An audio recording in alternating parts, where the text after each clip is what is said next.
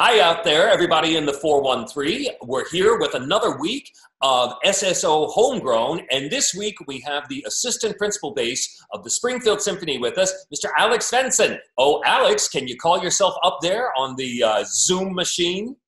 Why, there you are, Alex. How you doing? Doing well. How about you?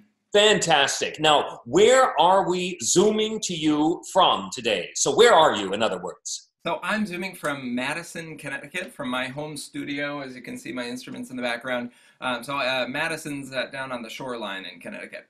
All right. And so now, where are you from originally? Originally, I'm from uh, Western New York. So I grew up in a small town called Jamestown, New York. Our claim to fame is uh, that we're the hometown of Lucille Ball. Oh wow! Well, that's that's kind of cool in a way. Yeah, it's a lot of fun. And now, you know, it's this whole big thing. It's now the home of the National Comedy Center. Um, so there's a big museum. There are two, I think they run two uh, Lucille Ball festivals. Um, oh one is Lucy Desi Days, and so it's a it's a big uh, it's a big tourism attraction for the area, and it's really been a boon for the town. Well, fun. I, I, I love, uh, who doesn't love Lucy? I love Lucy. uh, but, uh, but let's hear about you in that hometown. How did you start playing music? Did you come from a musical family or did, was it in school? I did. So my, my family was very musical. My mom is a trumpeter and a church organist. Um, my parents were both heavily involved in musical theater. Um, so both on stage, acting, dancing, singing. Oh, great. Um, my mom more so, uh, more often in the pit orchestra. And so oh, I got, uh, I, I got kind of, um, you know, a, a, very early musical exposure, and I, I, you know, we were so lucky, had a bunch of instruments in the house, and I, I learned to play piano pretty young. Um, but um, for the most part, I credit my um, early upbringing with, you know, of course, that musical exposure, but with the public school experience. I started singing, you know, in, in general music in elementary school, started playing recorder uh, in middle school. I joined the band, orchestra, and chorus, and I kind of ran the gamut of instruments before I settled on the double bass. Um, so I, uh, I, I think my first instrument really was piano. Mm-hmm. I started taking guitar lessons and was kind of fumbling around on the guitar, and I had big, kind of awkward hands. And my guitar teacher said, uh, "Have you ever thought about the bass?"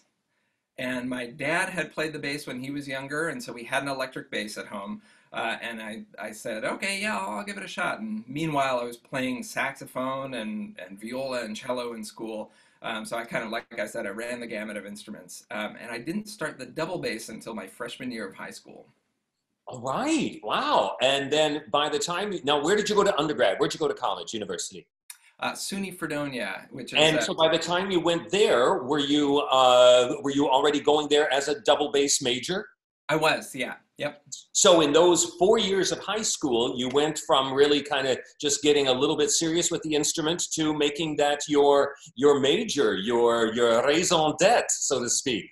Yeah, I actually there's a funny story about my uh, choosing to go to music school. Uh, at the time, my senior year, I was auditioning and deciding to audition for, for music school. I kind of knew that I wanted to do music as a profession, but I wasn't sure exactly how. And I was pretty good at the double bass, and I was also pretty good at the tuba, and uh, probably equally good at the tuba, which is a great double. There are a lot of musicals, you know, that call for tuba and bass, and they're very well related.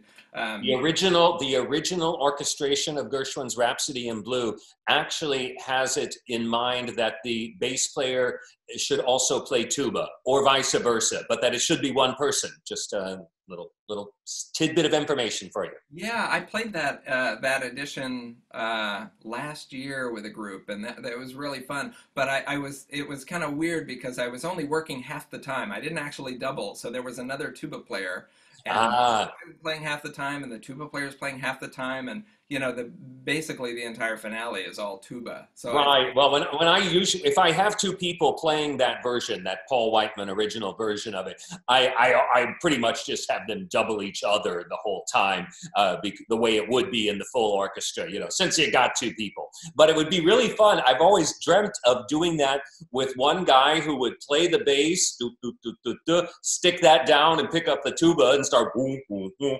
Uh, you know, a little.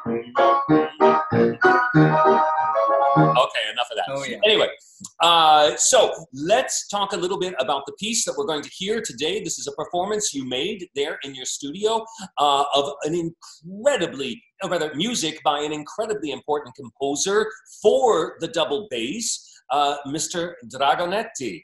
Uh, mm-hmm. What can you quickly tell us about him, other than the fact he was Italian and spent a lot of his career in England and lived to be really old? Uh, but he did really important stuff for the double bass and was a virtuoso himself. Tell us a little bit about him. He did, yeah. So um, he lived in a really pivotal time in the instrument's development. So, you know, the, the double bass uh, had kind of grown out of these two families of instruments, the violin family and the gamba family. And you can kind of see influences of both instruments.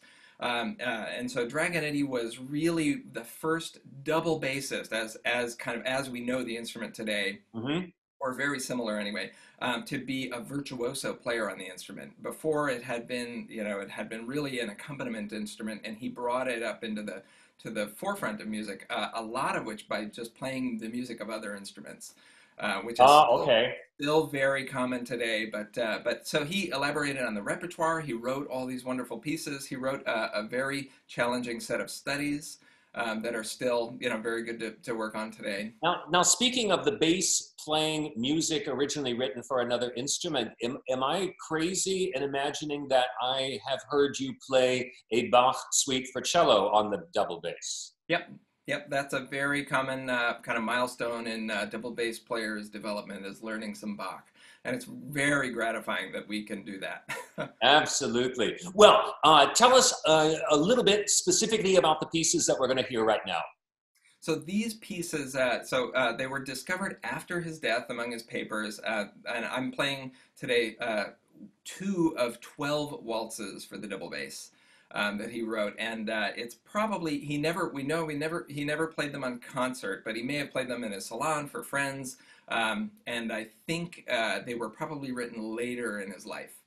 All right. He played in his salon for friends. Well, that's kind of exactly what we're going to experience right now uh, because you played those in your own salon. And since we're out here in the internet virtual world, everybody is our friend. So we're going to get kind of a touchback to uh, several hundred years ago. You in your salon playing Dragonetti for friends. Let's have a listen to that. So, today I'll play for you two valses of a set of 12 valses for the double bass by Domenico Dragonetti. These are valse number one and valse number two. Dragonetti never performed them in his lifetime, but he may have played them for some friends. Uh, the manuscript for these valses were found in his papers after his death. Please enjoy the valse number one and valse number two.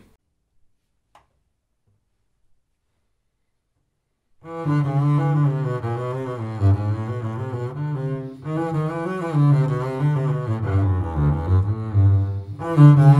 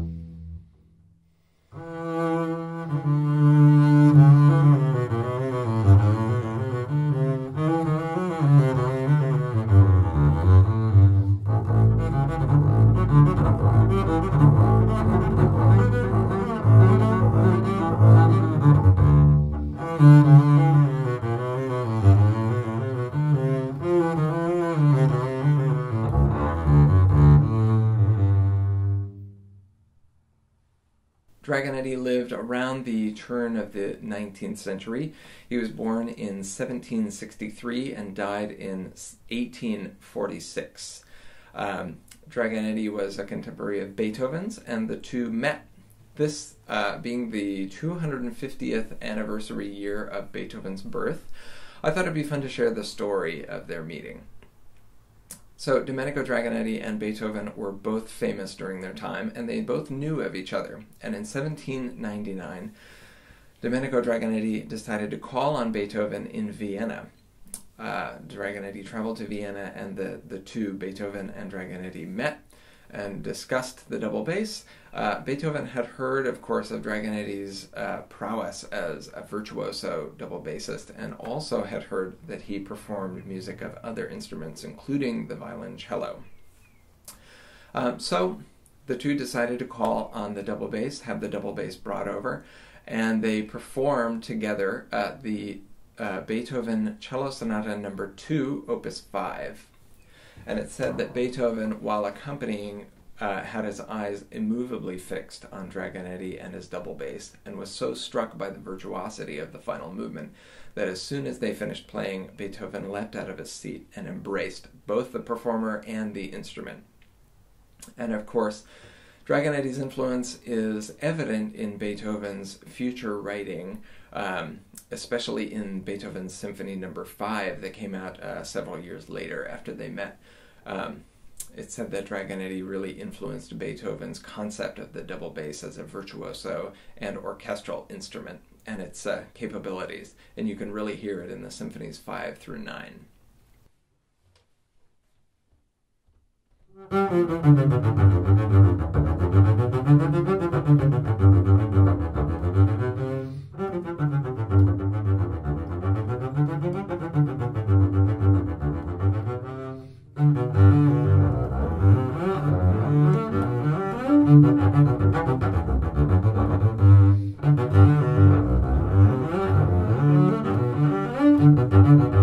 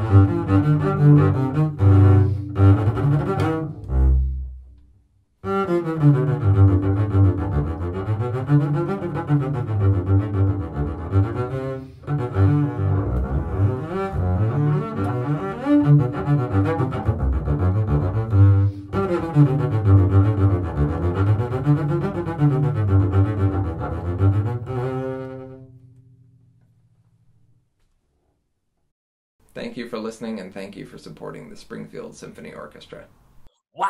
Wasn't that great hearing the double bass be so lively and athletic instead of just boom, boom, boom, what you usually expect for a bass? Uh, oh my gosh, Alex, you're a virtuoso, but I already knew that. Well, thank you. I appreciate that. And and another thing I have to tell everyone about uh, Alex and I, we we don't just bond on music. Uh, we also bond in that we are both extraordinarily avid fans of sci-fi.